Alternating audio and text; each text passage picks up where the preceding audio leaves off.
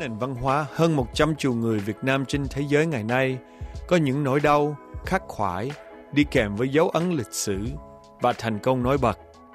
Trước tiên là Ken muốn chúc mừng sự thành công của Thành qua phim Bố già và bây giờ là Nhà bà nữ. À, cả nhà của Ken được đi coi. Tại sao mà bao lâu nay đó những cái cuốn phim mà bên Việt Nam ra ngày nay bây giờ mới bắt đầu thật sự là khai thác những cái tình trạng cũng như là khuyết điểm của xã hội và trong gia đình. Những cái topic về mental health và những cái mà toxic relationship trong gia đình bây giờ mới là một người đạo diễn như thành khai thác cái cái đề tài này.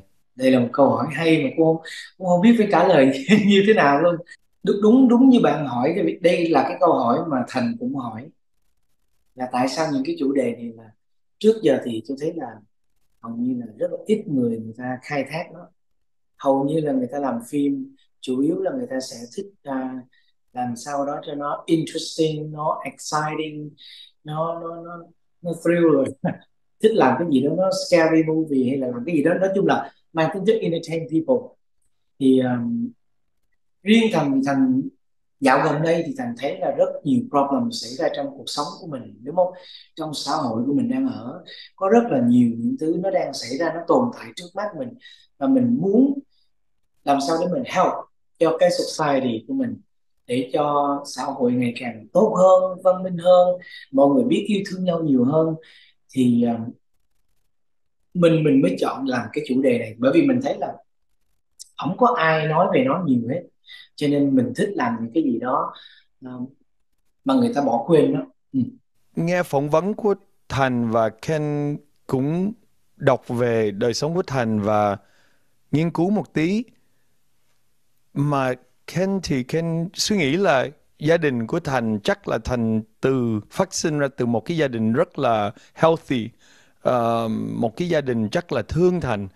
Nhưng mà làm sao mà Thành được những cái kinh nghiệm trong cuộc đời Thành mà viết được những cái thấu hiểu đề tài về toxicity, về những cái sự mà trong gia đình cấu xé như vậy? Yeah.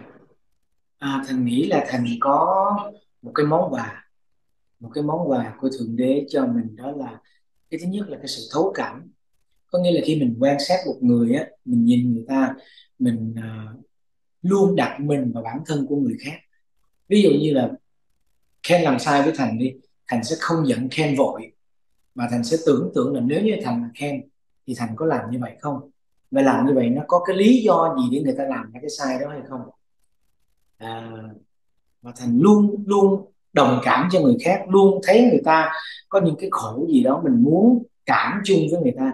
Và mình biết là tại sao người ta khổ như vậy tại sao người ta phải làm như vậy. Mình không muốn ai mình không muốn thấy ai buồn hết mình không muốn thấy ai khổ hết khi mình sinh ra là tự nhiên, mình đã muốn, mình luôn luôn có một cái cảm giác là mình luôn muốn mang tiếng cười.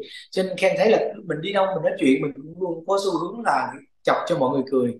Tại vì mình cảm thấy cái điều đó nó rất là là healthy, với mình mình cảm thấy rất là vui khi mình làm được như vậy.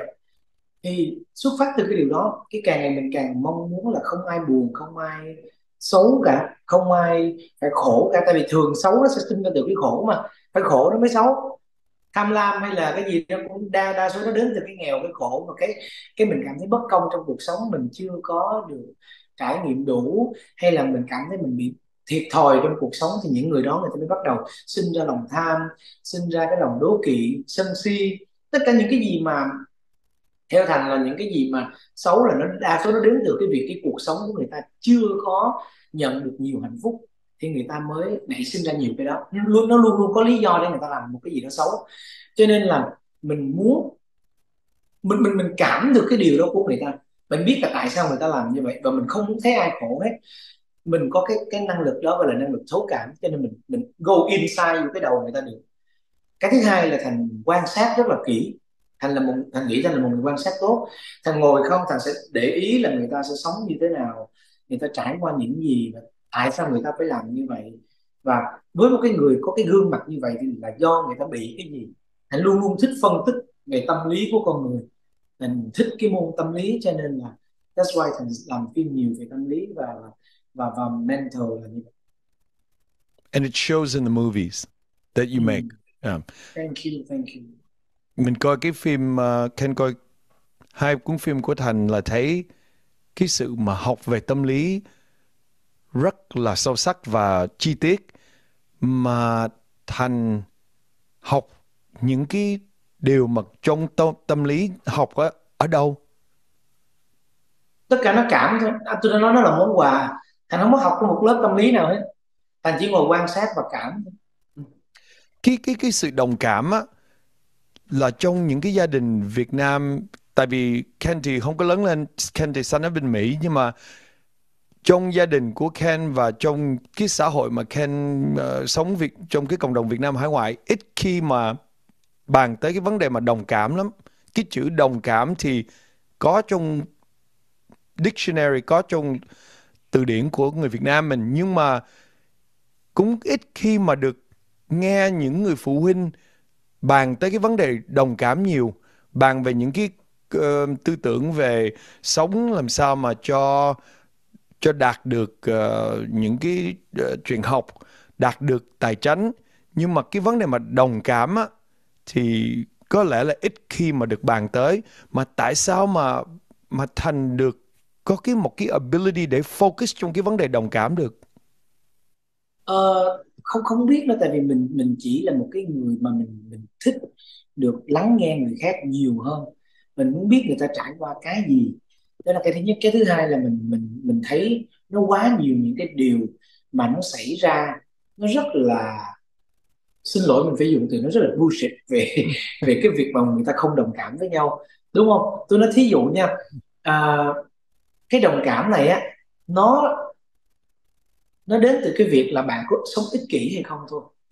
Nếu như bạn đồng cảm với người khác là bạn đang không ích kỷ với mọi người tại vì tôi nói ví dụ nha, mình đi ra ngoài đường đi, mình thấy là Việt Nam tại sao lúc nào cũng kẹt xe. Mình mình cảm thấy là, ủa, sao cái chuyện này nó cứ lặp đi lặp lại mà mình thấy là nó không có help, nó không có cái cách nào để cải thiện? Mà mình buồn cười là, ví dụ đi, mình mình mình thấy là ở nước ngoài á, ví dụ cái kẹt xe là nó phải có một cái accident gì đó, đúng không? Nó không chạy được nữa thì nó mới kẹt hoặc là ngay cái rush hour là tất cả mọi xe nó đều đổ ra ngoài đường. Nó đi về ví dụ giờ tan ca người ta đi về thì nó mới kẹt xe. Còn bên mình á mình thấy là bất cứ cái chuyện gì một cái, một cái lúc nào cứ sơ hở là kẹt. Thì mình mới hỏi là tại sao nó kẹt đúng không? Mình phải tìm hiểu là tại sao nó kẹt. Thì mình thấy là rõ ràng là người ta không nhường nhau nó mới kẹt. Ừ. cái người này ví dụ cái ngã tư như thế này mình mình luôn luôn mình thấy một cái chuyện cái ngã tư nó như thế này cái người ở bên đây chạy là mình thấy là ở trên kia nó đang rất là đông rồi, nó không thể chạy được nữa. Nhưng mà cái xe hơi bên này á, thay vì nó chịu dừng, mình biết nó đang đèn xanh, đúng không? Cái xe hơi bên này mình biết nó đang đèn xanh. Nếu như nó đồng cảm với người khác, nó chịu dừng lại một chút xíu, thì khi mà bên này xanh, thì bên này người ta có thể đi qua đi lại. Nhưng không, nó xanh mà nó thấy phía trước không đi được nữa, nó vẫn chạy lên đây để nó chặn lại. Thì khi cái bên này đèn xanh thì bên này đi không được thì mình, mình cảm thấy nó chỉ đơn giản xuất phát từ cái sự là người ta không hiểu cho nhau. Người ta không đặt mình vào cái tâm lý của người kia là ở ờ, nếu mình ở bên kia mình cũng muốn chạy vậy. Nếu mình ở bên kia mình cũng muốn cái người bên này mày dừng cho tao một chút xíu thôi là tao đã chạy được còn mày cũng sẽ chạy được hai bên đều chạy được. Tại sao mình không nhường lại cho nhau một chút xíu cái kiểu vậy? Thì mình thấy là tất cả những cái điều bullshit trên thế giới này nó xảy ra đều là do mình không đặt mình vào tâm lý của người khác. Mình luôn cho là người ta là cái người sai chỉ có mình đúng thôi và mình luôn muốn. Cái gì mình cũng muốn hết. Nhưng mà mình không bao giờ coi coi là người ta muốn cái gì. Giống như đi làm một cái người nhân viên sẽ luôn luôn asking for salary đúng không? Nhưng mà what, what did you do? Mình phải coi là, là mình đã làm gì. Rồi cái người boss cũng vậy. Lúc nào cũng complain nhân viên là tại sao tụi bay không không không thế này không thế này không thế này? Mình phải coi lại bản thân mình là mình đã thật sự hiểu người ta chưa? Đúng không? Ví dụ như một cái người nhân viên đó, người ta ở một cái cái việc position nào thì người ta chỉ làm được cái khả năng của position đó thôi. Làm sao mình cứ asking for người ta làm nhiều hơn và trong khi mình trả lương của người ta cũng có một khúc gì thôi. Đúng không? Có nghĩa là cả hai bên đều không ai hiểu cho nhau hết. Cái người boss lúc nào cũng muốn nhân viên làm thêm thêm thêm, mà không trả lương thêm. Rồi cái người nhân viên cũng vậy tại sao? Ủa tao làm nhiều quá sao mày không trả lương tao cao hơn? Nhưng mà nhiều khi cái năng lực thì không đến. Ví dụ vậy hai bên không bên nào hiểu cho bên nào hết. Thì mình thấy tất cả những chuyện trên thế giới này nó đều xảy ra là vì mình không đặt mình vào vị trí của người ta để mình hiểu cho người ta. Ừ. cho nên that's why thành phải làm những cái phim nó để mọi người thông cảm nhau nhiều hơn. Ừ. xã hội mà hiểu được cái đồng cảm nhiều nhất á theo như là Ken ý, ý kiến của Ken á, là xã hội người Nhật người Nhật rất là nhất là ra ngoài đường không có rải rác không có cái vụ mà traffic như là thành mới mới describe. Bao lâu thành nghĩ là bao lâu cái xã hội người Việt Nam mình và bằng cách nào cái xã hội Việt Nam mình từ từ bên uh, nước ngoài uh, người Việt Nam bên nước ngoài và nữ, người Việt Nam ở Việt Nam bao lâu mới thật sự hiểu được và thay đổi được cái vấn đề đồng cảm này? Uh, thành nghĩ nó mất phải vài generation. Mm, wow. Nó phải decades. Nó là câu chuyện của một nửa cái century. Ít nhất là 50 đến 100 năm để người ta đổi qua rất nhiều những cái generation. Tại vì Ken phải hiểu là không phải đất nước nào cũng nhanh phát triển như Nhật Bản hay là Hàn Quốc ví dụ như bây giờ thành đi Hàn Quốc đi thành sẽ thấy là vô một cái sân khấu không bao giờ người ta đi trễ nữa. Nói 8 giờ mở màn là đúng 8 giờ là người ta sẽ mở màn. Không đợi ai cả. Bạn đến trễ là bạn đứng ngoài luôn. Rồi à, mình đi vô một cái tàu điện ngầm mình sẽ thấy là không ai nói chuyện nữa. Ừ. không có phát ra âm thanh để để làm phiền cái người khác. Tại vì người ta đi làm người ta cũng mệt người ta muốn ngồi để người ta ngủ. Còn nếu như mà một cái tàu điện ngầm mà mở ra ở nhiều nước khác thì người ta sẽ mở cái YouTube lên, người ta coi cái này, coi cái kia, rồi mỗi người một cái YouTube thì cái tàu nó sẽ rất là ồn, hiểu không? Thì mình sẽ không bao giờ có cái cái không gian mà mình được relax, mình được ngồi yên một mình. Thì mình mới thấy là cái đất nước nào á mà người ta, nói chung là kinh tế càng đi lên cao thì đất nước nó sẽ nhanh develop hơn. Là bởi vì khi kinh tế cao á người ta có cuộc sống thoải mái người ta hạnh phúc rồi thì người ta mới dễ ừ. đồng cảm cho người khác. Tại vì bản thân mình chưa hạnh phúc khó đồng cảm cho người khác lắm. Mình phải hạnh phúc trước. Đa số nó là như vậy. Rất ít những cái người mà ngay cả trong khi họ không hạnh phúc họ cũng đồng cảm với người khác. À rất ít những cái người như vậy. Hầu như là đa số là Ken phải thấy là những mình phải hạnh phúc rồi mình có công ăn việc làm tốt rồi mình không có thiếu thốn gì trong cuộc sống nữa. Lúc đó mình mới thấy họ thương cho những người khác còn thậm chí có những người giàu rồi vẫn không thương ai. Rất là nhiều những thành phần khác trong xã hội. Thì mình thấy rằng là những đất nước như Hàn Quốc này Nhật Bản này hay là Singapore, là ba cái đất nước mà thành thấy là người ta cực kỳ văn minh và phát triển về mọi thứ. Là vì bản thân người ta đã hạnh phúc. Cái thu nhập đầu người người ta rất là tốt và xã hội được sống theo một cái kỷ luật rất là tốt và ai cũng phải như vậy. Cho nên họ nhìn thấy ai cũng như vậy nên họ phải follow theo cái rule đó thì mất rất nhiều thời gian để um, những cái giới lớp trẻ của Việt Nam uh, nhìn thấy cách của thế giới đang sống như thế nào thì chúng ta thay đổi dần. Rồi nói chuyện với bố mẹ mình rồi bố mẹ mình cũng phải thay đổi dần. Tất cả mọi người đều phải thay đổi dần để nó đúng đúng với cái gì đó gọi là uh, một cái quỹ đạo tốt đẹp hơn là nơi mà chúng ta biết nghĩ đến cho nhau. Ừ. nghe thành nói như vậy thì Ken nghĩ là có phải là vì Việt Nam mình trải qua cái cuộc chiến rồi mình đâm ra là thiếu thốn từ tài chính tới chết chóc rồi trauma thì nó đâm ra ờ, là nói về mấy cái đó thì thành không không không biết nhưng mà thành chỉ nghĩ là bất cứ nước nào cũng vậy không không những chỉ là trải qua cuộc chiến thì đa số đất nước nào à, cũng sẽ có những lúc cao và những lúc thấp Hàn Quốc ngày xưa cũng đã từng thấp rồi bây giờ phát triển. Ví dụ vậy sẽ có những lúc thế này thế nọ. Nhưng mà mình nghĩ là đơn giản chỉ là vì hiện nay à, cái cuộc sống của mọi người vẫn chưa có được à, đa số mặt bằng chung vẫn chưa có được cái mà họ đang mong muốn. Họ vẫn phải đi làm việc nhiều working hard thì họ sẽ dễ aggressive nhiều hơn. Và thậm chí một cái đất nước mà ví dụ như Việt Nam là quanh nóng quanh năm thì cái tính khí người ta cũng sẽ dễ nóng nhiều hơn. Ừ là những cái đất nước mà ít ra nó có cái độ lạnh người ta sẽ cảm thấy dễ chịu thoải mái hơn ví dụ vậy nó có nhiều cái lý do để đến từ cái cái việc là người ta có adapt được cái gì trong cuộc sống này hay không nhiều lắm Yeah, very good points. Thành có sống nước ngoài không? Tại vì cái tư tưởng của Thành và cái cách nói của Thành um, có vẻ rất là Tây phương cộng với lại cộng với lại là văn hóa của người những Việt gì Nam thật ra là mình mình coi phim Mỹ từ nhỏ, cho nên là mình mình mình rất thích cái cách tư, cái suy nghĩ tự do của người Mỹ. Có nghĩa là người ta luôn sống rất là cởi mở, và cái gì người ta cũng chịu hiểu cho nhau. Người ta biết là à cái này nó chỉ đúng cho mình thôi, còn nó chưa đúng cho cái người kia. Người ta chịu hiểu cái điều đó và người ta welcome mọi thứ. Thì mình thích cái tư tưởng phóng khoáng như vậy và cũng có thể một phần nữa là trời sinh ra mình là cái người như vậy. Mình luôn muốn hiểu cho người khác chứ mình không chỉ ích kỷ để mình hiểu mà mình lấy cái quyền lợi riêng cho bản thân mình. Đó là cái thứ nhất. Cái thứ hai á là mình cũng lấy vợ người Hàn Quốc. Thì vợ mình cũng thật ra là nói thẳng luôn là vợ mình teach mình nhiều Oh, wow. về những cái cách nhìn mới. Tại vì người Hàn Quốc họ sống rất là có kỷ luật chứ không phải là ờ, muốn làm gì làm tại vì nếu như một cái người Hàn Quốc mà sai á, thì sẽ bị cộng đồng khiển trách rất là nhiều. Cho nên người ta phải rất là ý thức trong mọi hành động của người ta. Thì nó thành một cái nếp sống nó quen rồi. Cho nên là mình thấy vợ mình cũng teach cho mình nhiều.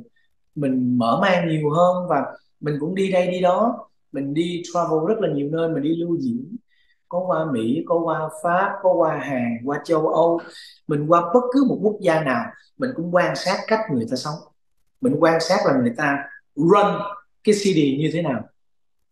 Thì mình mình mình adapt được những cái điều đó. Cho nên mình muốn càng ngày mình càng develop mình phát triển hơn mới hơn để mình đừng có bị bỏ lại. Tại vì thế giới mọi thứ nó đều move lên phía trước. Mình dừng lại thôi là mình đã bị người ta bỏ lại rồi chứ đừng nói mình đi đi lùi lại. Cho nên là yeah. Giờ ờ, Ken đã soạn một cái câu hỏi nhưng mà Ken định là hỏi uh, later nhưng mà bây giờ tại vì bây giờ đang bàn về cái đề tài và về uh, Hàn Quốc. Và nhạc của Hàn Quốc và phim của Hàn Quốc đã bây giờ tất cả người trên trái đất này thế giới này đều ngưỡng mộ. Và nhất là trong Việt Nam nước Việt Nam đó là tuổi trẻ rất là mê K-pop. Nhưng mà Ken đứng từ một cái phía older generation không có cái tuổi mà uh, 19, 20, 25 Ken rất là lo ngại là cái K-pop và cái văn hóa của người Hàn Quốc nói cái chữ xâm nhập thì nó hơi nó hơi nặng nhưng mà nó pha nó pha trộn với lại cái văn hóa nhạc của người Việt Nam. Mà thành có nghĩa là nhiều khi nó đi nó đi quá lố hay là nó đi quá xa là người Việt Nam mình mình mất cái kêu bằng mất cái gốc mất cái cái mùi vị của người cái flavor của người Việt Nam mình không? Là riết á, là 20 năm nữa là mình nhìn lên TV mình nhìn lên nhạc của người Việt Nam không còn cái kêu bằng cái flavor cái cái cái cái cái hương vị của người Việt Nam. Ừ. thật ra cái câu hỏi này cũng hay. Ờ, nhưng mà thế này nè cái thế giới nó nó sẽ vận hành theo một cái quỹ đạo nào đó và cái quỹ đạo đó nó sẽ không nó không chỉ ở đó mà nó sẽ thay đổi. Nó sẽ thay đổi theo từng generation thay đổi theo từng cái cái cột mốc thời gian cột mốc lịch sử khác nhau. À, dĩ nhiên mình sẽ luôn luôn thấy nó nó không chỉ là ở Việt Nam bây giờ là ảnh hưởng Hàn Quốc nhưng mà nhiều quốc gia khác cũng sẽ ảnh hưởng Hàn Quốc. Nhưng mà mình phải coi nó là cái mức độ ảnh hưởng mức đến mức nào thôi. Thì á uh, vấn đề nó nằm ở chỗ là thế này. Bạn thấy là ngay cả những thập niên 90 mình cũng thấy là đừng nói tới Việt Nam nha.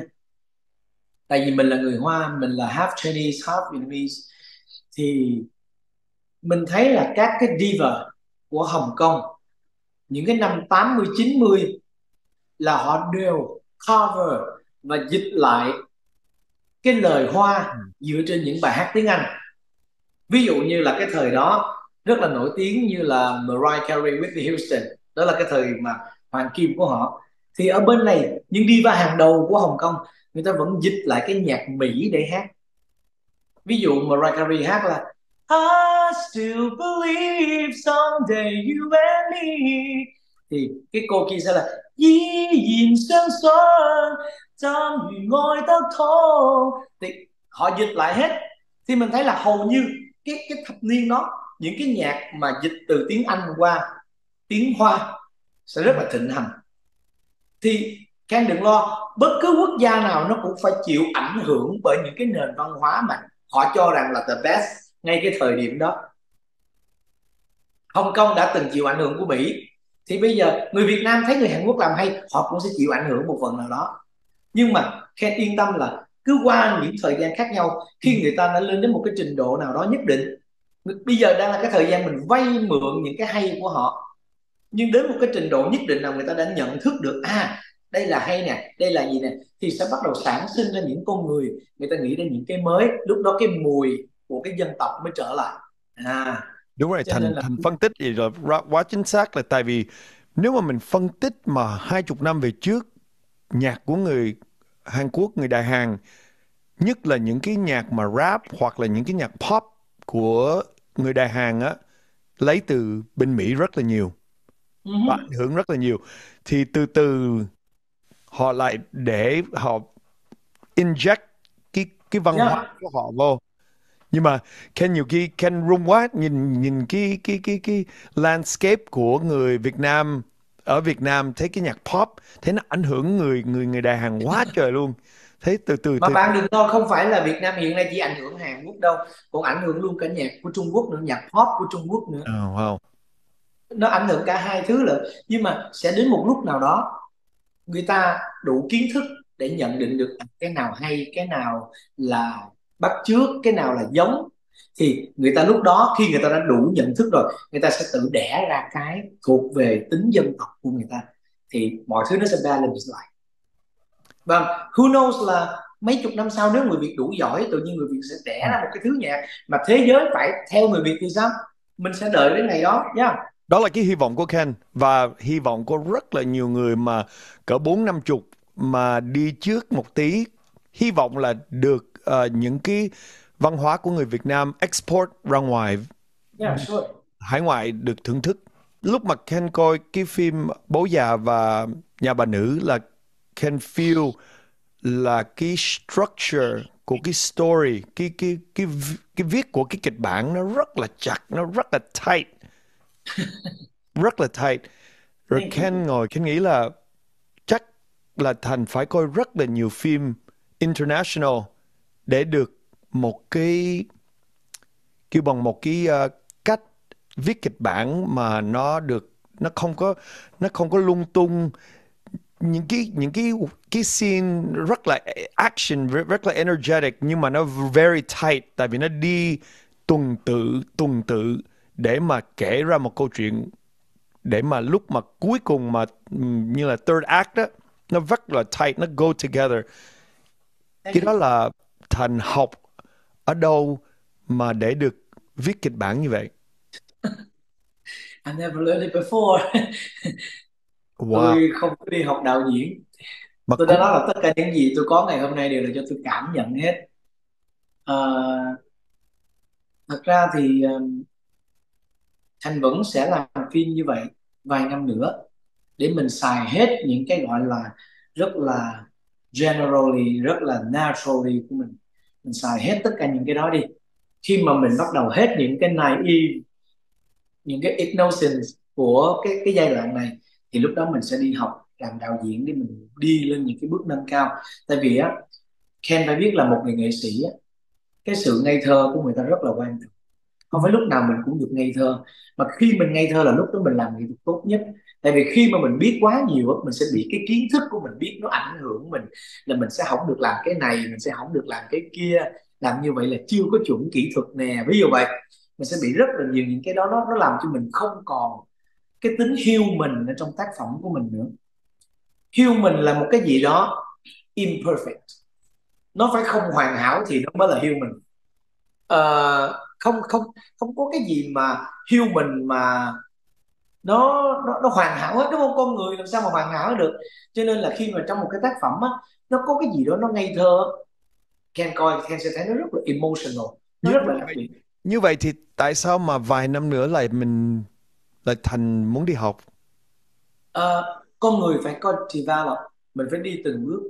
Mình sẽ bắt đầu xài hết cái cái innocence của mình nó trong một cái khoảng thời gian nào đó. Nhưng khi nào mình bắt đầu mình thấy là mình hết ý tưởng rồi mình không thể lặp lại những gì mà mình đã làm. Cho nên mình phải làm những cái cao cấp hơn. Mà nếu mà những cái cao cấp hơn thì mình phải improve mình phải đi nâng cấp bản thân mình.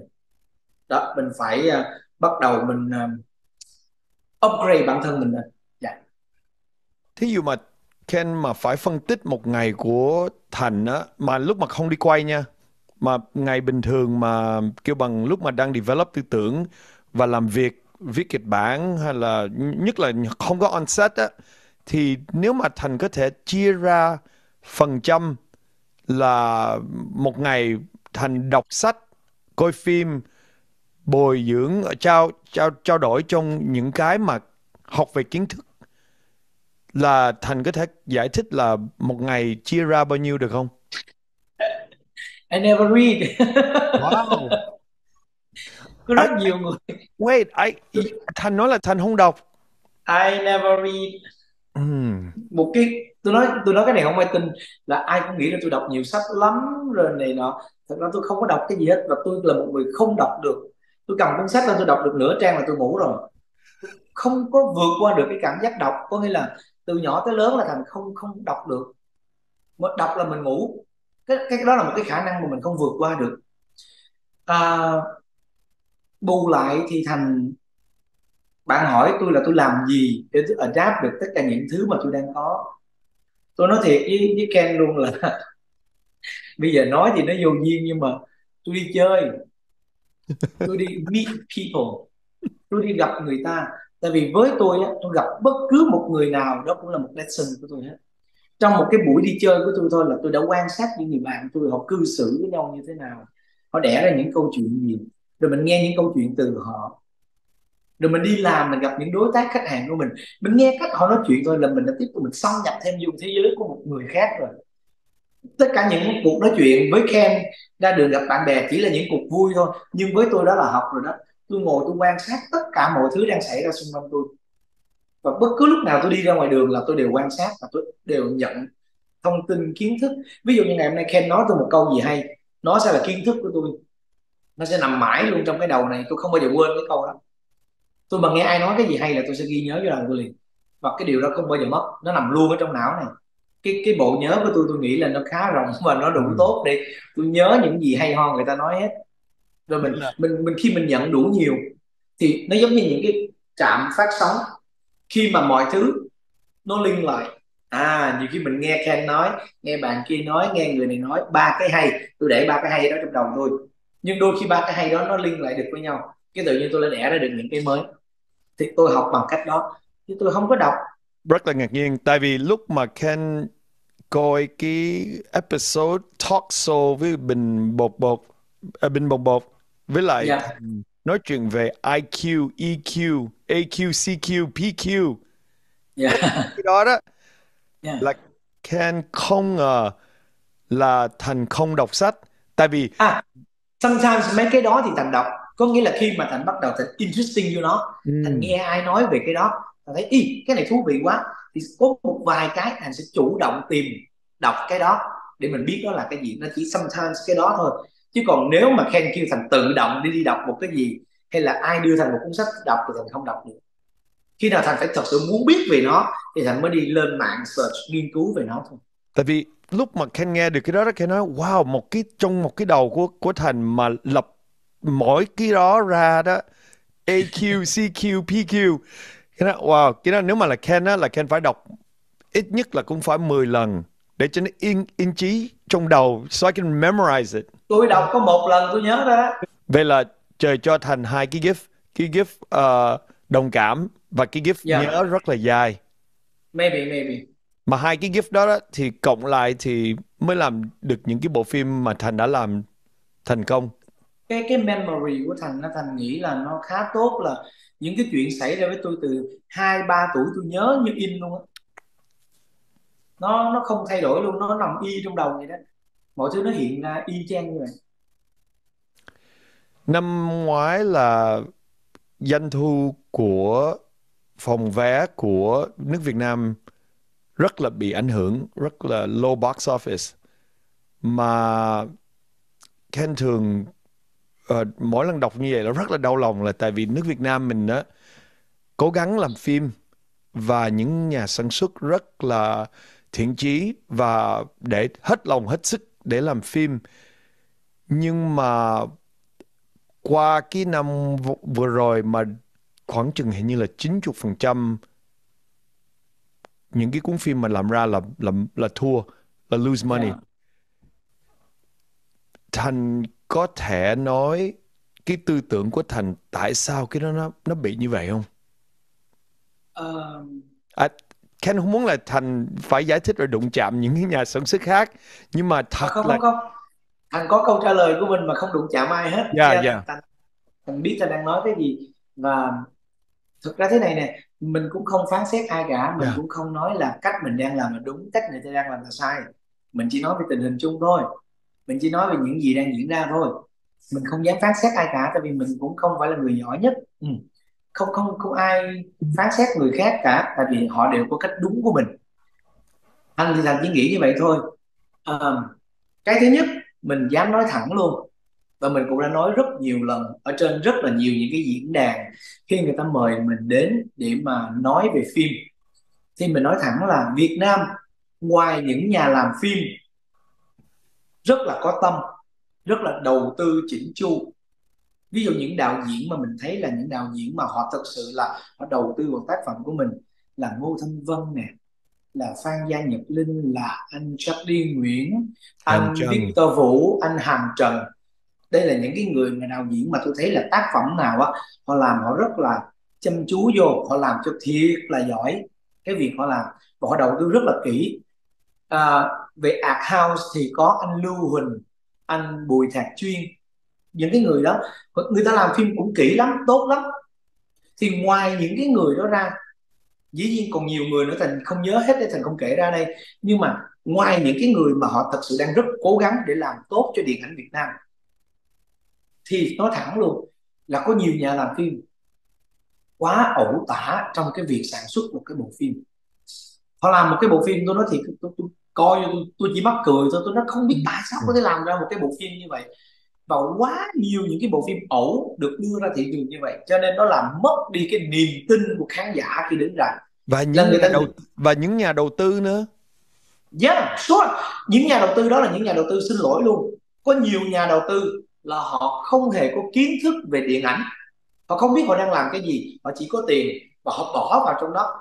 Họ muốn muốn làm gì làm đi cho nên là tôi tôi rất là sợ một ngày nào đó như phim được đem ra kinh doanh ai ở Việt Nam cũng có thể đi đầu tư phim mà không hiểu một gì về cái phim đó hết. Khi mình đầu tư một cái gì mình ít ra mình phải có một chút kiến thức về nó mình nghiên cứu nó một chút xíu thì mình nghĩ cái việc đầu tư đó hợp lý thôi đúng không? Còn nếu mà mình đầu tư mà mình thật sự không hiểu chỉ có tiền rồi mình bỏ vô đó để mình xin lời y như bỏ tiền ngân hàng thì mình thấy cái việc đó nó rất, rất là vô trách nhiệm. Cho nên là quá nhiều những cái bộ phim mà kém chất lượng thực sự ra mình mình mình mình không cần họ có quá nhiều kiến thức luôn. Họ chỉ cần biết là ờ họ đang đầu tư thực sự vô cái dự án đó và nó mang lại cái giá trị gì chứ không phải là chỉ bỏ tiền vào đó và ai muốn làm gì làm xong cuối cùng ra một cái sản phẩm rất là kém chất lượng để rồi cùng nhau xin lời để có tiền với nhau. Thì quá nhiều những cái bộ phim như vậy được đưa ra thị trường. Cho nên khán giả khi mà vào xem xong một cái phim đó, người ta lỡ người ta đi enjoy với nhau ở weekend người ta lỡ mua phải cái vé. Cái vô người ta coi người ta nói trời ơi tôi đang coi cái gì vậy trời? Cái người người ta bị bị bị bị bị tuột cảm xúc. Cái người ta nói không bao giờ tao bị tụi mày lừa nữa. Cái là người ta sẽ không ra rạp hiểu không? Mà cứ một người không ra rạp thì sẽ lại tiếp tục giảm đi đúng rồi. cái cái cái box office của, của, của tất cả những nhà làm phim mà người ta thật sự có tâm. Cho nên á mình thật sự mong muốn là những nhà làm phim của Việt Nam. Mình khoan nói hay hay dở Trấn Thành không nói cái phim đó hay hay là dở. Bởi vì hay hay dở là cảm nhận của mỗi người. Và đó là cái cái khả năng của mỗi một đạo diễn của mỗi một nhà làm phim. Mình chỉ cần cái bộ phim đó làm ơn làm cho tử tế một chút làm cho đàng hoàng một chút để cho nó ra một cái bộ phim thôi. Để, để để để cho người ta nhìn vô người ta thấy mình đang thật sự là mình đang làm đàng hoàng. Thì nhiêu đó thôi là đã giúp cho nền điện ảnh nhiều lắm rồi tôi nói thiệt sự. Nhưng mà thành ơi nói như thành nói nó đơn giản quá. Tại vì bây giờ mình ngồi mình đọc một cái kịch bản, đâu có phải là mình tưởng tượng ra là cái câu chuyện nó hay hay nó dở. Mình đọc một cái kịch bản nhiều khi nó hay hay là nó nó nó nó không cần là hay nhưng mà cái tiêu chuẩn nó đại khái là cái cơ bản nó basic. Nhưng mà làm sao mà mình có cái kiến thức nhà, những người mà đầu tư hoặc là những nhà sản xuất theo ý của thành á, là làm sao mà mình biết một cái câu chuyện nó nghiêm chỉnh và nó sẽ hấp dẫn? À cái đó nó tùy thuộc vào nhà đầu tư và cái thẩm định của mỗi một người. That's why mình mới thấy là có người đầu tư đúng và đầu tư sai. Chứ còn nếu ai cũng biết cách đầu tư thì sẽ không có người fail. Nó là một cái một cái nó không phải là một cái lesson dành cho mọi người. Nó là một cái cách thẩm định và cái belief của mình đặt để cho ai mình phải quan sát cái người đạo diễn đó. Bây giờ tôi khi mà Ken kêu gọi đầu tư với tôi tôi nói thiệt tôi cũng phải xem cái production của Ken trước đó là gì chứ đúng không? Ken cho tôi coi những phim mà Ken đã làm đi. Tôi nhìn vào đó tôi phải cảm thấy rằng ờ à, tôi tin được cái người này cái người này làm cái sản phẩm này coi hay nè. Tôi cũng không biết là những nhà đầu tư có thật sự đã xem những cái phim của những đạo diễn nó làm trước đó hay không. Mà ai cũng nhiều khi sẽ có những nhà đầu tư, họ nghiên cứu rất là kỹ. Nhưng mà khi họ nghiên cứu kỹ rồi, nhưng vô tình cái phim nó không hay thì họ bị fail thôi. Cái nhóm đó mình không không nhắc tới. Cái đó là do người ta không may mắn thôi. Nhưng mà có rất nhiều nhà đầu tư, mình biết là họ có tiền, họ chỉ cần đưa vào vậy thôi. Rồi, muốn làm gì đó làm tại tôi muốn có lời. That's it. Thì mình thấy rằng là khi người ta có nhiều tiền, người ta muốn làm gì làm. Xong rồi nó ra những cái bộ phim nó rất là kém chất lượng. Và thậm chí là có nhiều nhà đầu tư một cái phim, mình sẽ có rất là nhiều những nhà đầu tư nhỏ gom lại, rồi cái làm cho có, xong cuối cùng ai cũng thua lỗ hết. Thì mình thấy là à nó nó nó tạo ra một cái điều rất là khó. À mà có cái này nữa. Là bây giờ nó có cái tình trạng là bây giờ người ta sẽ không làm một phim đầu tư người ta làm một phim rất là hài và kinh phí thiệt là thấp thôi. Kêu gọi vài nhà đầu tư thôi để cho đủ tiền thôi. Rồi làm chiếu lên. Nhiều khi cũng đủ lời ví dụ vậy. Thì mấy cái người kia ta thấy u làm kinh phí thấp vậy lời nè. Thì cứ làm thôi.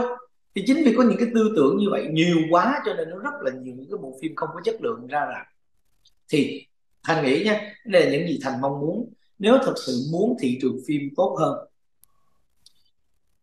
đầu tiên là khán giả phải thật sự biết say no với những bộ phim mà người ta cho rằng nó không có chất lượng.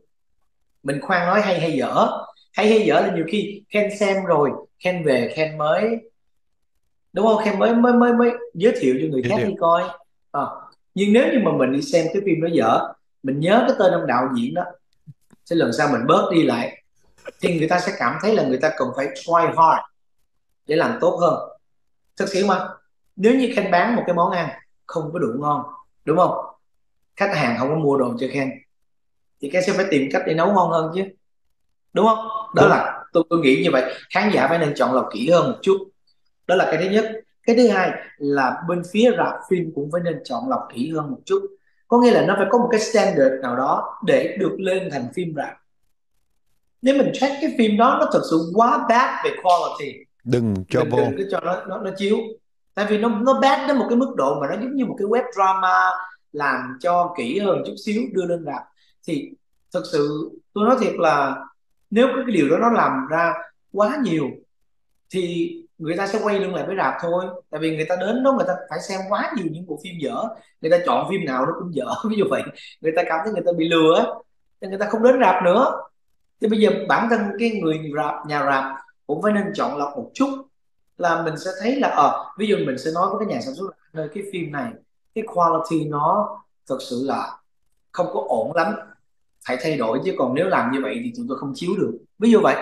Thì khi mình mình có cái gì đó mình mình uh, giúp cho người ta khán giả chọn lọc được một một chút thì thành nghĩ rằng là nó sẽ đỡ hơn rất là nhiều. Ừ đối với thành ngày nay đó, làm một người Việt Nam có ý nghĩa gì với thành? Cái ý nghĩa lớn nhất của tôi là khi tôi làm một người Việt Nam á, tôi có rất nhiều những ký ức đẹp. Dù cho nó là buồn hay là vui, tôi đều thấy nó hay. Là bởi vì ở đất nước Việt Nam này, nó có quá nhiều những cái đặc biệt xảy ra mà tôi nghĩ là không phải nước nào trên thế giới cũng có cho nên á, là tôi được tiếp nhận rất nhiều nền văn hóa khác nhau rất nhiều những cái generation khác nhau rất nhiều những cái tư tưởng tư duy khác nhau của rất nhiều người trong cùng một đất nước. Và mình thấy là mình biết ơn về những điều đó. Là tại vì nếu như mình không trải qua những cái khó khăn này mình sẽ không thể thấu hiểu được hết cho mọi người. Nếu như mình sinh ra ở một đất nước văn minh hơn mọi thứ nó tốt đẹp hơn mình mình hạnh phúc ngay từ đầu. Chưa chắc mình có được những cái thấu cảm như ngày hôm nay mà nó dày như vậy. Thì mình mình cũng cảm ơn cái đất nước này, một cái đất nước mà mọi người phải cùng nhau để tốt hơn. Thì mình cảm ơn cái điều đó. Cho mình một cái cuộc sống bắt đầu đã không quá dễ dàng. Thì mình mới biết cách để mình phấn đấu. Đó là cái điều mà tôi thấy là hạnh phúc nhất khi được là một người Việt Nam. Tôi biết được rất nhiều thứ và rất nhiều trải nghiệm của tôi trong cuộc sống ở đất nước này. Thành có thể cho một cái thí dụ hay là vài thí dụ cái nét đẹp của người Việt Nam mà nó khác những cái quốc gia khác không? À, tôi nói thí dụ nha. Nếu mà nói về tình cảm thì người Việt Nam thật sự là một người một dân tộc rất là thương người á. Có nghĩa là cái tình thương của họ xuất phát rất là là trực tính. Có nghĩa là nhìn thấy thương là thương và họ ghét cũng rất nhanh luôn. Nhìn thấy ghét là ghét. Nhưng mà hiểu không? Nó nó cái thứ nhất là nó ngây thơ và nó đỡ kinh dị hơn là với những đất nước mà văn minh. Những đất nước văn minh đó khi họ ghét bạn rồi á họ sẽ tìm rất là nhiều những cái cách thông minh để tiêu diệt bạn. Còn người Việt Nam á đôi khi mình thấy là đúng rồi. chỉ nói qua nói lại thôi thì ít ra đó chỉ là lời nói thôi nó cũng còn đỡ còn cái người nước ngoài mà khi mà người ta đã thực sự mà đủ một cái độ văn minh nào đó khi người ta ghét bạn người ta sẽ có những cái cách rất là khó chịu để tấn công bạn và cái đó nó thật sự nguy hiểm hơn rất là nhiều nhưng còn mà người Việt Nam á nhưng mà nói gì là từ từ là nước Việt Nam sẽ từ từ nó ra những cái complicated những cái complexity như vậy không? Sure. Và bây giờ hiện nay là trên thế giới đều phải đối diện với điều đó. Chúng ta đều phải học cách để đối diện với trí thông minh của nhân loại. Thật ra sự văn minh của nhân loại là một đối thủ kinh dị nhất trong cuộc sống này. Khi người ta càng thông minh, khi người ta càng phát triển, người ta sẽ càng biết cách để tổn thương nhau nhiều hơn và càng biết cách thông minh để che giấu tội ác của mình nhiều hơn cho nên á, là mình phải thật sự giữ đủ giữ được cái bình tĩnh trước cái sự thay đổi của thế giới bạn thấy là ngày xưa nếu như thế giới không có mạng không có internet mọi thứ nó dễ thở hơn Đơn nó giản. bình yên hơn. Bây giờ có internet một cái gì đó nhỏ nhỏ của biển người ta post lên mọi thứ sẽ phức tạp hơn rất là nhiều. Đặc biệt có cái livestream nó còn phức tạp hơn nữa. Cho nên á, là chúng ta phải thực sự đối với mình á, cái cuộc chiến lớn nhất của nhân loại là cái cuộc chiến chống lại sự thông minh của nhân loại. Càng thông minh là càng nguy hiểm mọi người cứ sống một cách bình thường hơn một chút, nhiều khi nó lại dễ thở hơn, nó hiu mình hơn. Bây giờ, một ngày nào đó thì Ken sẽ không phải đối diện với con người nữa, mà Ken phải đi đấu với máy. Cái đó là cái điều mà mình sợ nhất. Trong tương lai mình phải làm cái điều đó, mình phải đấu với cái máy. Đấu với chính cái trí thông minh của con người. Cho nên là ở Việt Nam nó có những cái nó rất là ngây thơ, nó rất là nhẹ nhàng. Tôi cảm thấy nó nó dễ thở hơn rất là nhiều nếu như thật sự mình hiểu về bản chất của vấn đề nhiều khi ở bên Mỹ Ken thấy có thể văn minh có thể mọi người đều có tiền nhưng chưa chắc đỡ stress hơn ở Việt Nam. Đúng rồi thành nói đúng ờ, Ken nghĩ là cái cái cái hạnh phúc mà ở Mỹ nhiều khi nó rắc rối hơn là cái yeah. hạnh phúc mà ở Việt Nam. À, quốc gia nào nó sẽ có cái rắc rối riêng của nó?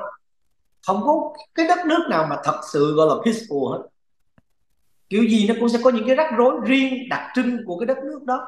Cho nên là mình mình không biết sao chứ mình thấy riêng với mình ở đất nước của mình thì mình thấy là mọi thứ nó rất là dễ thở.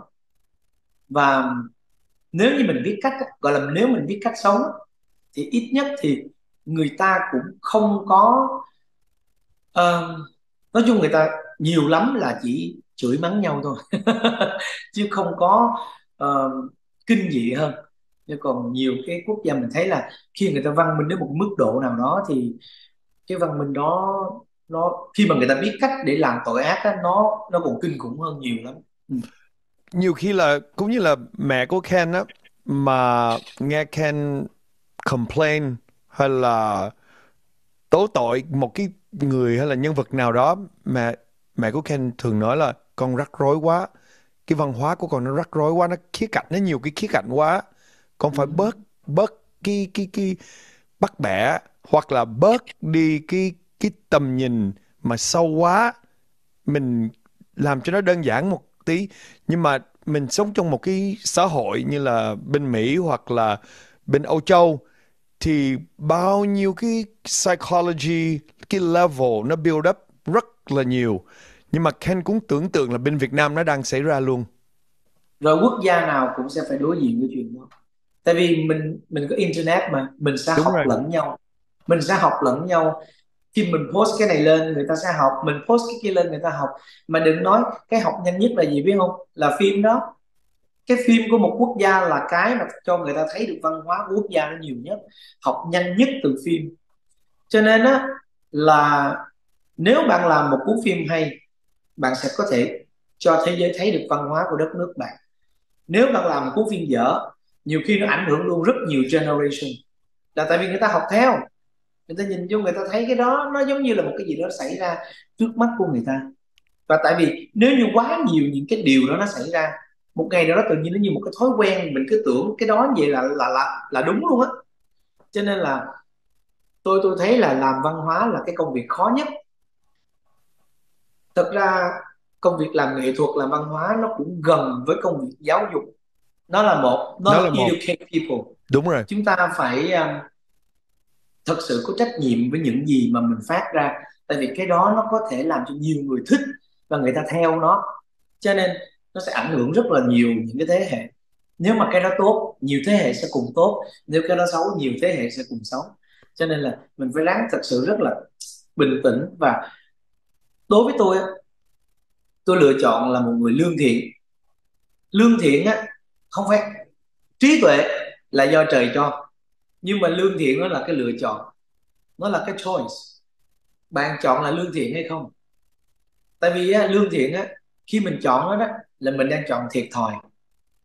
Khi bạn chọn lương thiện trong một cái chuyện gì đó bạn sẽ chọn nhịn nhiều hơn là bạn chọn attack tấn công. Trong một cái cuộc đấu khẩu với bố mẹ nếu mà bạn lương thiện bạn sẽ hiểu luôn cho cái phần mà bố mẹ không hiểu mình. Bạn sẽ không phải tấn công họ quá nhiều mà bạn sẽ biết là à ở cái generation đó họ chịu những cái điều này. Lúc đó cái lương thiện của mình nó sẽ bộc phát và mình sẽ không có complain bố mẹ mình quá nhiều. Khi bạn lương thiện có thể lúc đầu những cái người xấu á, họ ba giờ bạn bạn rất ghét họ. Nhưng khi bạn chọn lương thiện là bạn hiểu là ờ thí dụ bạn nhìn cái người đó cái cuộc sống người ta nghèo như vậy khổ như vậy nhiều khi hàng ngày người ta phải đối diện với những cái điều rất là stressful.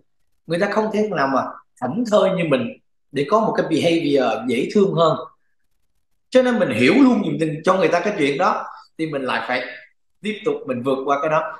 Đó là lương thiện. Như vậy thì Ken có chọn lương thiện hay không? Đó là một câu hỏi mà tất cả chúng ta đều phải hỏi nhau là chúng ta có chịu chọn lương thiện để thiệt thòi một chút nhưng mà hiểu cho người khác hay không? Cái đó là một cái điều rất khó làm đúng rồi. Đó là một cái basis cho đồng cảm. Sure. Khi mà bạn muốn đồng cảm với người khác điều đầu tiên bạn phải nhường một chút. Bạn không thể cái gì cũng tay đôi attack người ta được. Bạn phải chịu thiệt thòi một chút. Bạn nhường lại một chút bạn suy nghĩ là um, nếu mình biết điều hơn một chút thì có lẽ chuyện nó sẽ tốt hơn. Ví dụ vậy thì khi mình chọn lương thiện là mình chọn lùi về sau một chút để chịu đựng nhiều hơn một chút thành từ nhỏ tới lớn á những cái bộ phim nào mà inspire thành nhiều nhất? Oh sure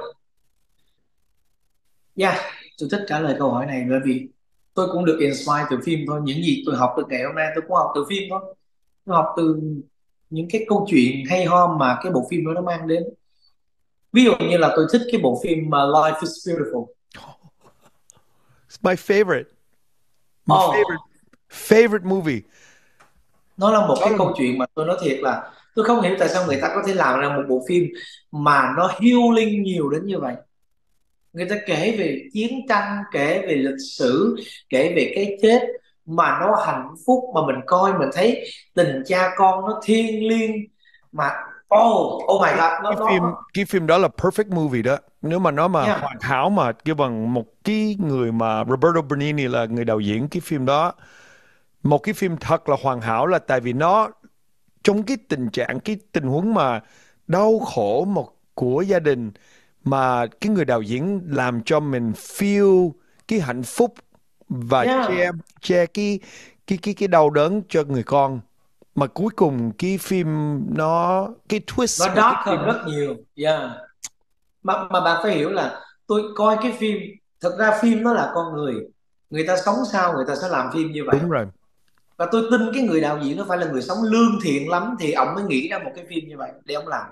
Nếu ông không có tình yêu ông không có tình thương ông không có cái cách nghĩ đó làm sao ông có thể đưa cái tình huống đó vào phim được? Ông như con nít á ông Roberto Benigni lúc mà ông giải được cái ông uh, trúng được cái Oscar ông nhảy lung tung như là một một đứa con nít 5 tuổi. Sure. hồn ông nhiên phải là một người mà rất là innocent. Mình innocent. nhìn cái phim đó mình thấy nó innocent. Yeah.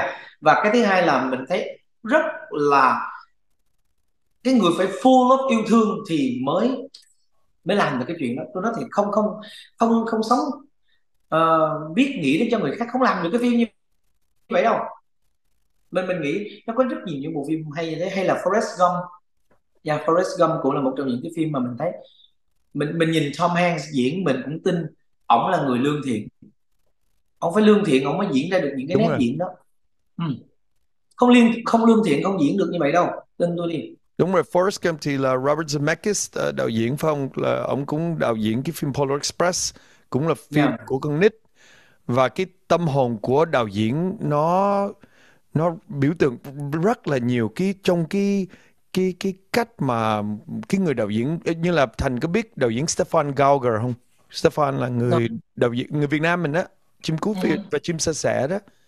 Ờ, Một một người rất là ngây thơ, một người thích vui, lúc nào cũng ham vui. Yeah. mà là thật một ra anh Hàm Trần cũng vậy luôn. Anh đúng Hàm rồi, Trần cũng là một cái người thật ra anh ấy rất là innocent đó innocent. anh Hàm Trần ảnh ảnh làm phim mình thấy là tâm hồn ảnh như một người trẻ thơ vậy đó. Và đôi khi ảnh upset là vì ảnh feel là không ai hiểu ảnh cả. Không ai hiểu ảnh đang làm gì cả kiểu vậy. Chứ còn nếu hiểu ảnh thì ảnh rất là dễ thương. Anh Hàm rất là dễ thương. Anh như một đứa trẻ. Và tôi thấy gần đây tôi bị inspire bởi những cái phim của những đạo diễn mà kể câu chuyện nó cá tính hơn. Ví dụ như là Jordan Peele mình thích cái Get Out. Mặc dù nó là cái phim thrilling nhưng mà cái thông điệp nó rất là lớn về chủng tộc. Yeah. mà người ta đưa vô một cách rất là thông minh và rất là hay ho luôn. Rồi Bong Joon-ho với The Snowpiercer cũng nói về cuộc sống của những người giàu và những người nghèo và ngay cả Parasite. Mình mình thấy người ta sống như thế nào là người ta sẽ làm phim như vậy? Tại vì à, rõ ràng luôn. Đúng rồi, mình mình mình ngồi xuống mà nói chuyện với một người tác giả hoặc là một nhà làm phim, đạo diễn phim. Ok. Gần đây là Oscar mới xảy ra và cộng đồng Á, Á Đông uh, ở Mỹ rất là hãnh diện của Michelle Yeoh hoặc là Kiwi Kwan đã trúng những cái Oscar thì Thành có bao giờ nghĩ là Thành sẽ làm phim ở ngoài nước Việt Nam không? Oh sure, đó là giấc mơ của tất cả những nhà làm phim không chỉ riêng của Thành đâu và mình cũng hy vọng là một ngày nào đó mình nếu nói mà win cái prize đó thì không dám nói. Nhưng mà leo leo vô. Chỉ cần là nominate thôi là mình đã thấy là rất là hãnh diện rồi. Mà nếu mà làm phim mà ngoài nước Việt Nam đó thì Thành có những cái đề tài gì để mà nói chuyện không? Tại vì cái văn hóa người Việt Nam nó rất là sâu sắc và nó rất là nếu mà nghĩ là um, về văn hóa Việt Nam á, thì nó nó có có vẻ là một cái gì mà phải chuyên nghiệp. Còn nếu mà mình làm phim ở ngoài mà cho thế giới coi đó, thì Thành có nghĩ là những cái đề tài nào mà Thành muốn khai thác không? tôi nói thiệt là không có cái đề tài nào hấp dẫn bằng những gì xảy ra tại Việt Nam cả những điều đó nước ngoài không có đó là đặc sản của Việt Nam và tôi sẽ khai thác những chủ đề đó ừ, bạn để ý là tất cả những cái phim nước ngoài mà nhận Oscar đều là những cái phim nói về đất nước đó nói về văn hóa của đất nước đó chứ không phải là những cái phim mà thuyết phục người Mỹ. Nó phải thuyết phục tất cả những ai trên thế giới này khi lỡ xem cái phim đó đều cảm thấy đồng cảm với cái câu chuyện đó chứ không riêng gì người Mỹ. Thì nó mới nó mới đạt được cái cái cái cái Oscar. Thì mình mình thấy là nó có những cái câu chuyện bạn để ý được câu phim nào mà nó càng hay á là cái cái cái dấu ấn personal nó càng nhiều. Cái góc nhìn personal của cái người đạo diễn nó càng nhiều. Là tại vì chỉ có người đạo diễn đó mới chịu chọn cái góc nhìn đó để kể câu chuyện nó ra thôi. Thì đó là mình mình cũng hy vọng là một ngày nào đó mình được làm một cái phim mà người ta nhìn vô nó ủa sao cái ông này ở Việt Nam ổng có cái góc nhìn này và nó nó thực sự mới mẻ thật sự đặc biệt với với với mọi người trên thế giới thì mình hy vọng là sẽ có một cái bộ phim mình làm được mà cái mâu thuẫn của cái personal á là nếu mà không có personal thì không có universal. Sure. Mình làm phim mà không có để để hồn để để tâm của chính mình vô đó thì lại làm nguyên thế giới không hiểu được thì mình càng làm nó more personal thì nó càng mới là tiếng Việt universal là cái gì? Uh, toàn cầu á. Toàn cầu. Yeah.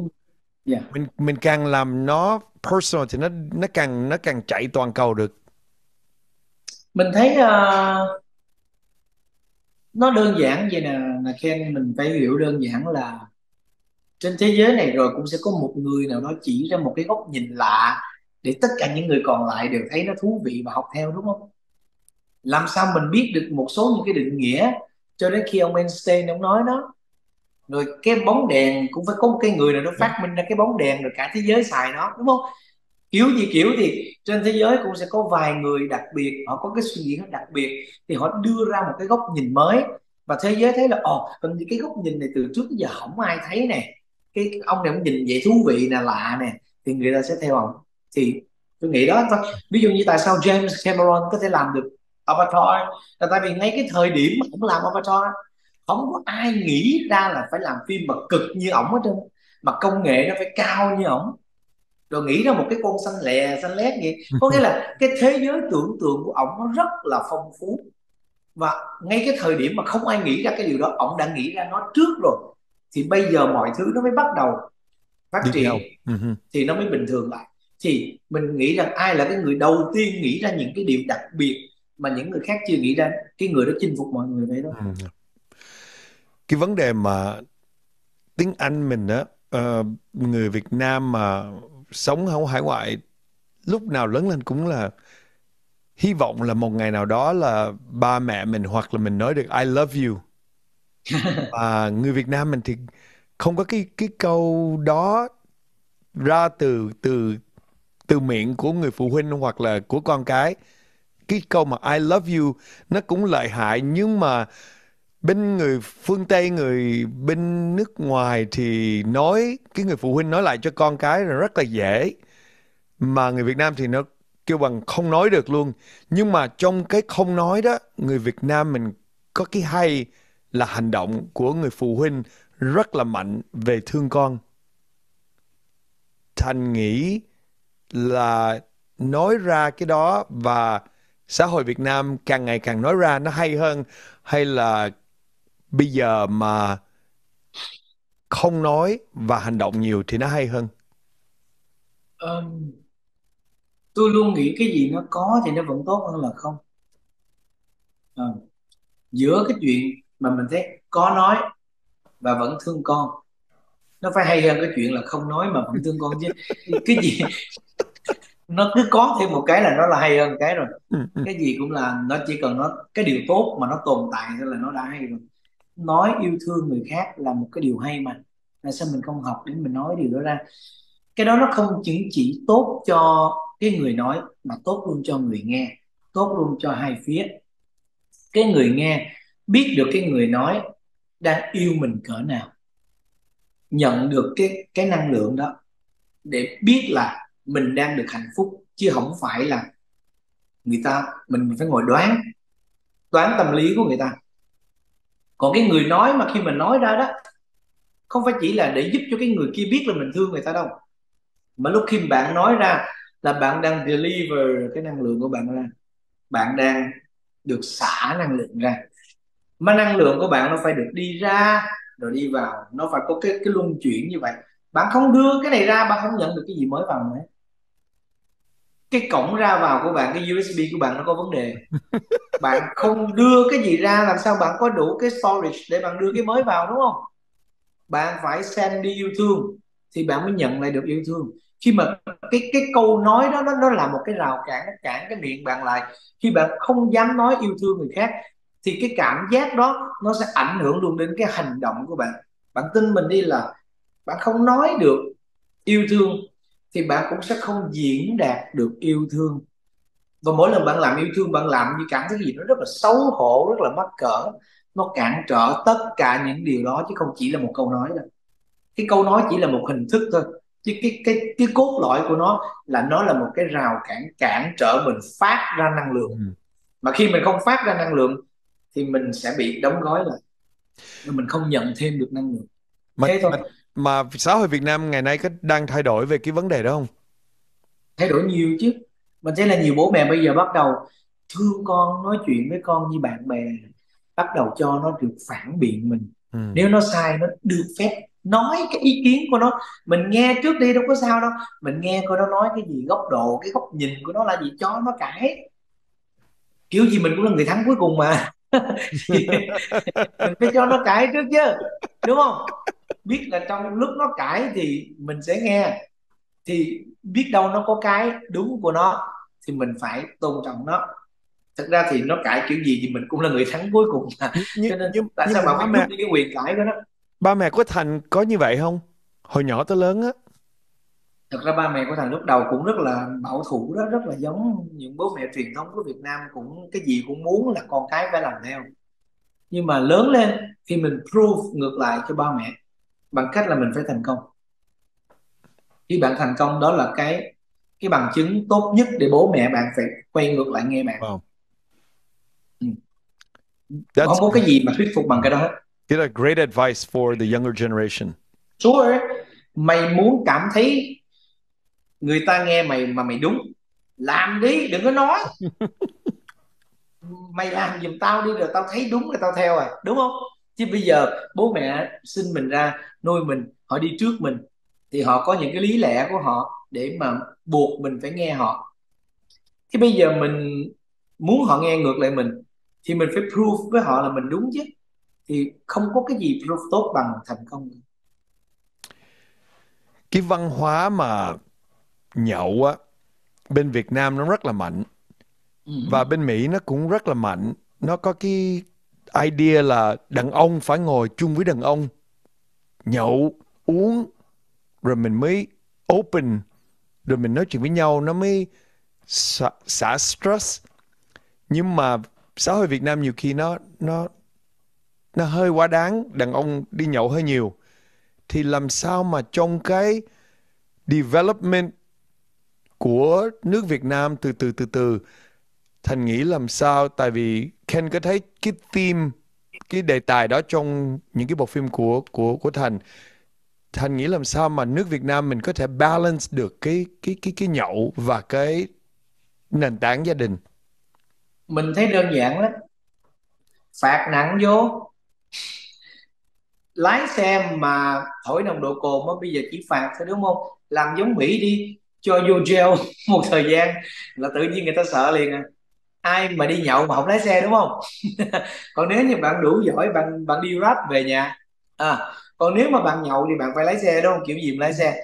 Cứ cho thổi nồng độ cồn nhiều vô phạt nặng vô tự nhiên ta bớt à. Thì mỹ cũng vậy thôi.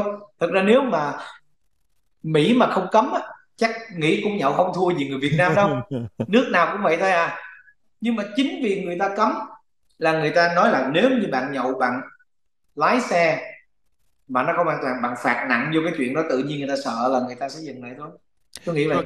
Nhưng mà cái vấn đề mà uống nhiều á và cái thời gian mà đàn ông spend ngoài gia đình đó cái đó là nó cần rất là cần thiết cái văn hóa người Việt Nam.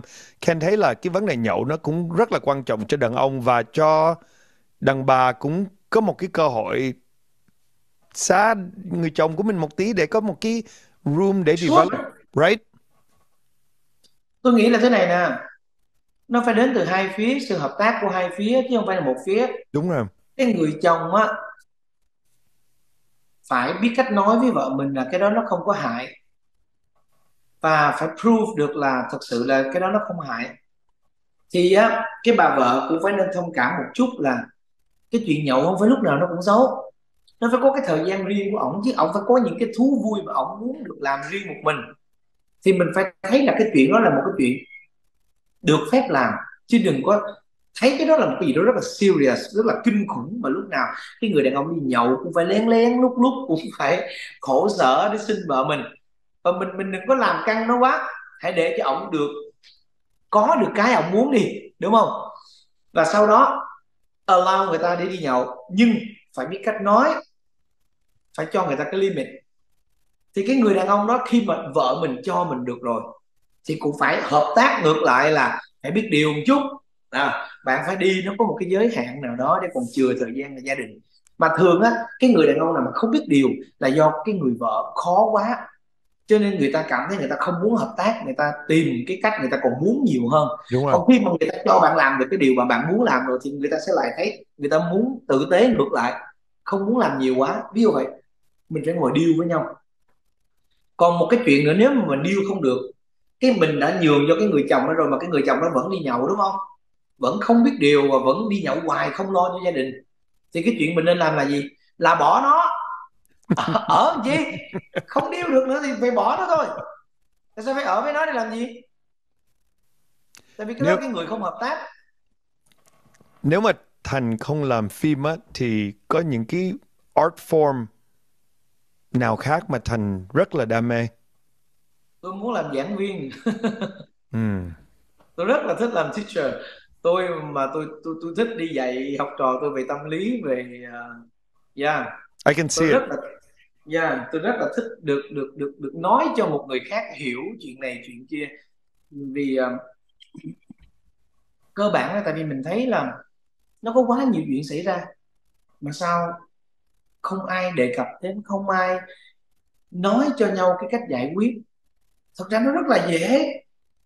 Là nếu bạn đặt bạn vào trường hợp của người khác là tự nhiên bạn thấy mọi thứ đều giải quyết được mà tôi thấy không ai làm hết. Bây giờ bạn thử đặt mình là vợ đi. Thì mình thấy một cái người chồng đi nhậu hoài, tốn tiền, gia đình mà mất thời gian, về nhà thì xỉn thì bạn đâu có thích được, đúng không? Bạn bạn phải tự đặt mình là cái người vợ thôi mình lấy nó về làm gì mà nó không bao giờ quan tâm mình, mà nó chỉ đi nhậu, rồi nó về thì nó xỉn nó la làng ôm sùm rồi nó ói mình phải hốt rồi nó không dành thời gian gia đình mà mỗi lần đi nhậu phải tốn tiền nữa chứ, đúng không? Thì nếu mình đặt tâm lý mình là người vợ của mình, có thích vậy không? Là tự nhiên mình thấy mình bớt nhậu liền. Rồi cái người vợ đặt mình vào tâm lý người chồng đi. Ủa, sao sao tôi đi chơi với bạn bè tao tao cũng phải năn nỉ mày làm sao? Tại sao không cho tôi đi? Cho tôi làm tôi thích làm cái chuyện này bạn cho tôi làm thì tôi sẽ không có kiếm chuyện với bạn nữa tôi sẽ không phải tìm cách để đối phó với bạn nữa. Mà nó đâu có cái gì hại đâu. Chừng nào mà tôi đi đánh bài này nọ tôi tôi tôi tôi, tôi gọi là mang cái xấu về cho gia đình vậy. Còn ra ngồi với bạn bè nói chuyện một chút tôi nghĩ cái đó nó hãy nghĩ đó đừng có take cái serious thì nó sẽ bình thường. Cho nên là mình phải đặt tâm lý ngược lại mình là ai mình là người kia thì tự nhiên tôi thấy là mọi chuyện nó được giải quyết được vậy mà không ai thấy hết cho nên thực sự nếu như tôi không làm viên tôi rất muốn được làm cái cái người mà giảng viên trên sân khấu và bây giờ bạn đang thấy đó công việc tôi làm cũng gần giống vậy là tôi làm MC yeah, yeah. tôi nói được yeah. ừ.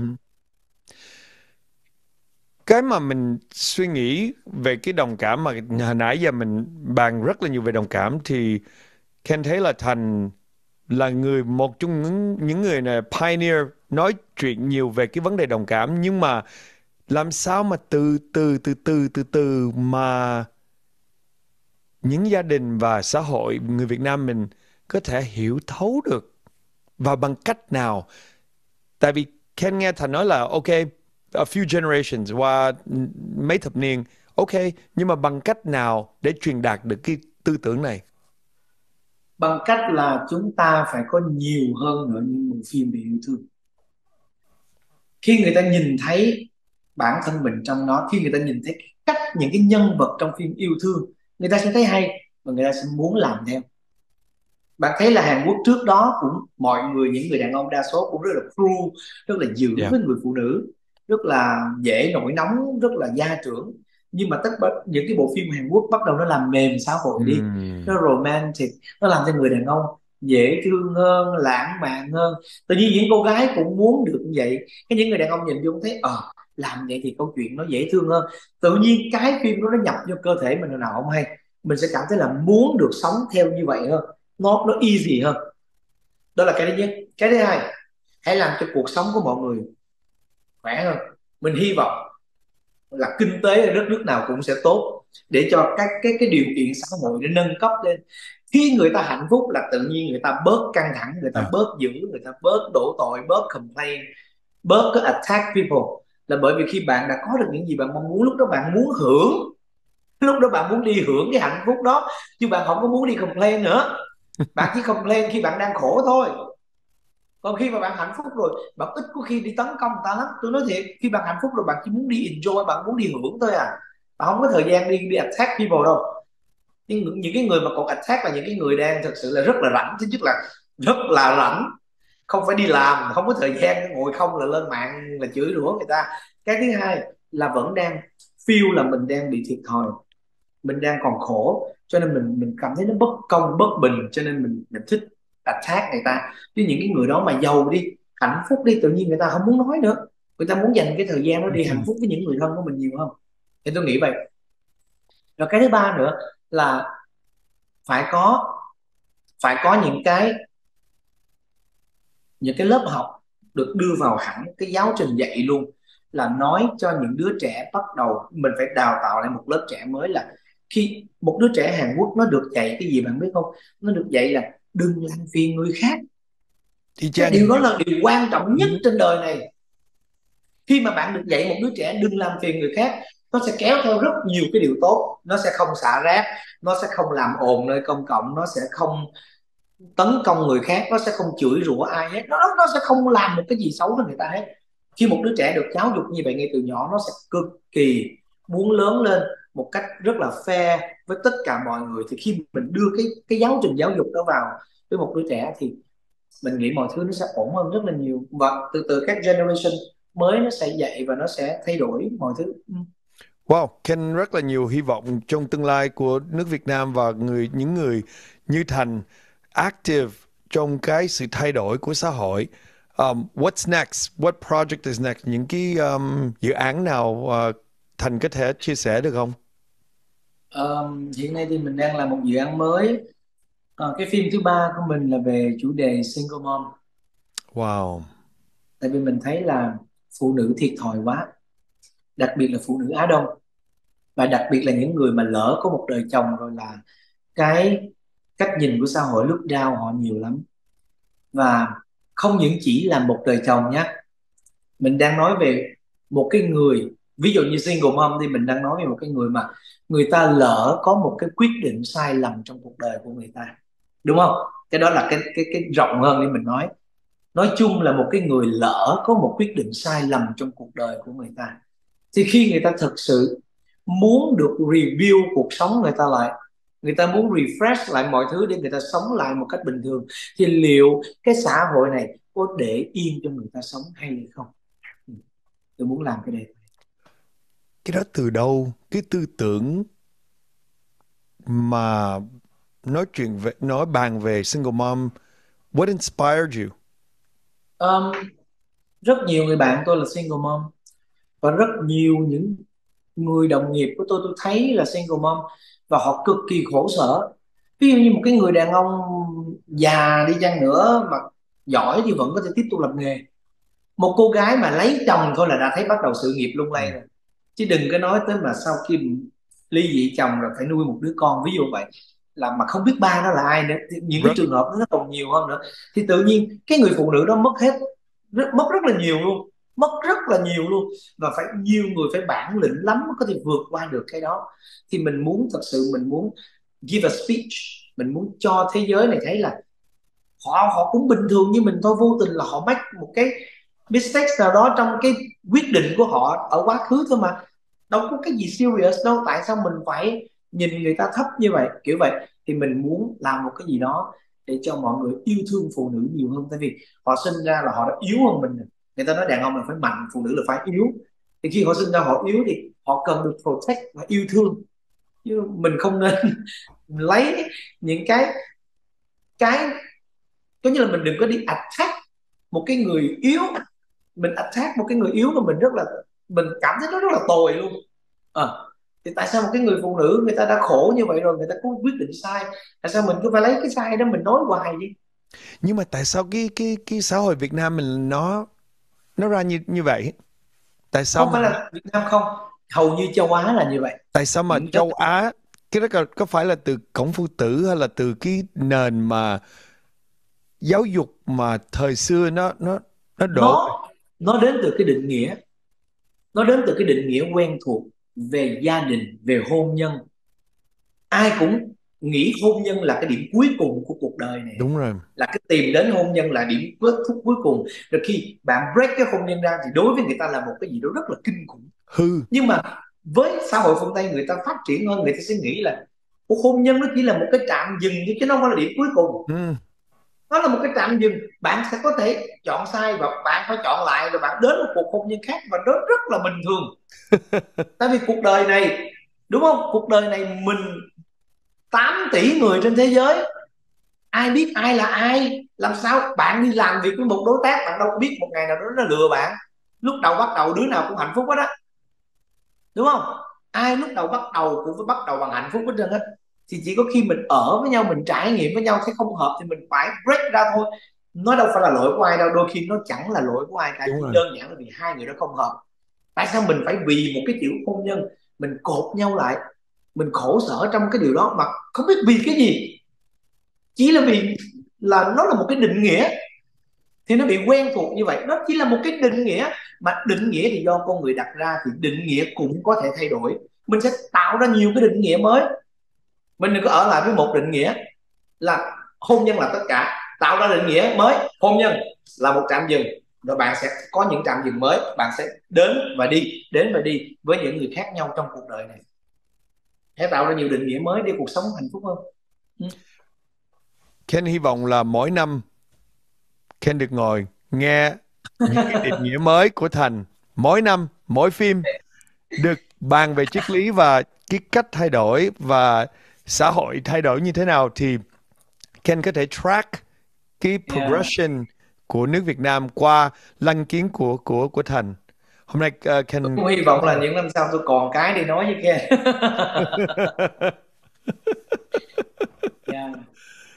Ken rất là cảm ơn Thành hôm nay uh, dành thời gian rất là nhiều để lên uh, nói chuyện với nhau về uh, những cái um, cách sống thật thật sự Ken bữa nay học hỏi được rất là nhiều. Cảm ơn Thành. Yeah thank you. Uh, Ken cũng là một cái người mà đặt câu hỏi đi rất là sâu vào vấn đề chứ không phải là chỉ để hỏi uh, và chỉ để được cái gì. Thì ờ, mình cũng thấy khi mà Ken đặt ra một cái câu hỏi thì mình cũng thấy là trong Ken cũng thực sự là có cái cái cái cái suy nghĩ cái trăn trở trong cái câu hỏi đó. Cho nên Ken muốn có thêm một cái góc nhìn của một cái người mới khi Ken đặt câu hỏi như vậy. À, đó là lý do vì sao mà tôi ở lâu với cái cuộc nói chuyện này như vậy. Tại vì tôi sẽ không trao một câu chuyện cho một cái người mà thực sự người ta chỉ đến hỏi tôi những câu hỏi sáo rỗng và để có được một cái clip của Trấn Thành.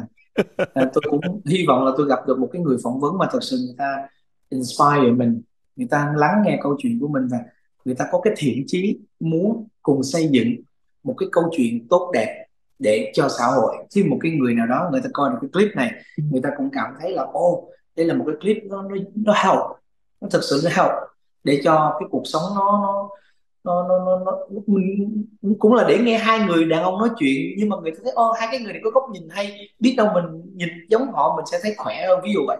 Thì tôi tôi muốn có những cái cuộc nói chuyện mà nó nó có ý nghĩa như vậy hơn là có cuộc chuyện chỉ là hỏi về doanh thu yeah. Cảm ơn thành tại vì Ken cũng rất là nervous trước khi nói chuyện với thành là tại vì tiếng Việt của Ken nó bị limited nó không có được no, no. You speak perfect Vietnamese. Cảm ơn Thành. Cái tư tưởng nhiều khi Ken phải dịch lại trong đầu Ken thì nhiều khi không có đi sâu vào vấn đề được như là Ken muốn. Tại vì Trời, nói như vậy là sâu lắm rồi đấy. You're better than my English. Cảm ơn Thành. You're very gra- gracious. Thank you so much. Yeah. Rồi, cảm ơn Ken nha. Hy vọng yeah, là okay. mình có dịp để gặp nhau sau dạ cũng cảm ơn anh Hàm Trần đã làm yeah. Dạ. bà Mai cho cái cuộc nói chuyện này yeah. Dạ. cảm ơn Hàm cảm ơn Hàm thank you thank you see ya ok Thành thank you cảm ơn quý vị đã dành thời giờ xem hoặc nghe người Việt podcast với Kenneth Nguyễn người Việt podcast được sản xuất với Britney Trần Kenneth muốn xin cảm ơn Jane Nguyễn Catherine Nguyễn Tina Phạm Sydney Jamie và Crystal Trịnh vui lòng tìm đến chúng tôi trên những trang Instagram, Facebook và TikTok at the Vietnamese podcast. Xin cảm ơn.